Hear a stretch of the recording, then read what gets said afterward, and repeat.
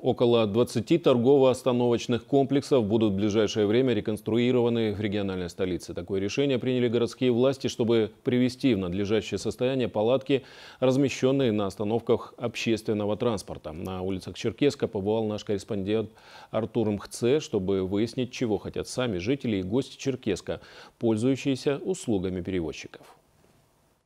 Чего не хватает на наших остановках? Мусорки, лавочки, например.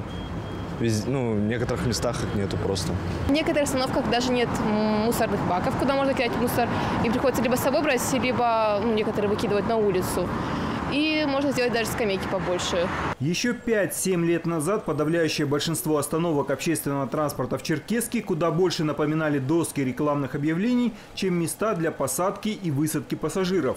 Мусор, развивающиеся на ветру бумажные лохмотья, отсутствие урн, лавочек, а кое-где и навесов создавалось ощущение то ли всеобщего безразличия, то ли невозможности изменить плачевную ситуацию. На территории города все остановки, которые переданы в пользование, исторически были переданы в пользование арендаторам на условии, что они возведут там свои торговые объекты и в виде комплексов будут их эксплуатировать, беря на себя обязательства по их санитарному содержанию, по обслуживанию этих объектов светом, э, лавочками, то есть всем надлежащим оборудованием, которое установлено по ГОСТам и выступает требованиям к остановкам общественного транспорта. В городе и его окрестностях 217 остановок. На 87 из них размещены магазины.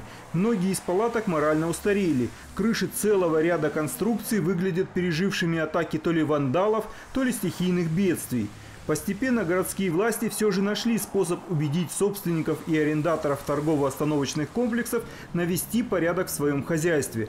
Была проведена инвентаризация всех сооружений. Руководством мэрии принято решение о том, чтобы э, в первую очередь центральные улицы привести в надлежащий вид. Разработана была концепция э, архитектурного стиля и облика э, для таких объектов. Естественно, люди пошли навстречу и выполнили соответствующие работы по видоизменению этих объектов.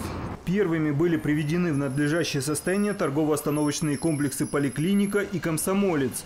Под такой крышей дождь не страшен. Еще бы оборудовать новые сооружения информационными табличками с расписанием движения транспорта, да продумать, как сделать лучший обзор дорожного движения. Цены изменениям не будет.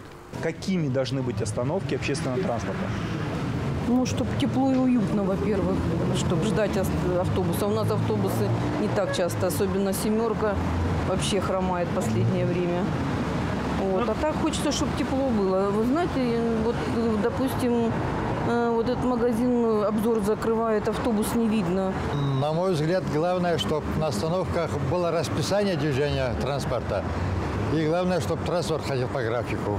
В ближайшее время будут преображены около 20 подобных комплексов по проспекту Ленина, улицам Октябрьской и Ставропольской. В дальнейшем новый облик приобретут и другие торгово-остановочные сооружения Черкеска.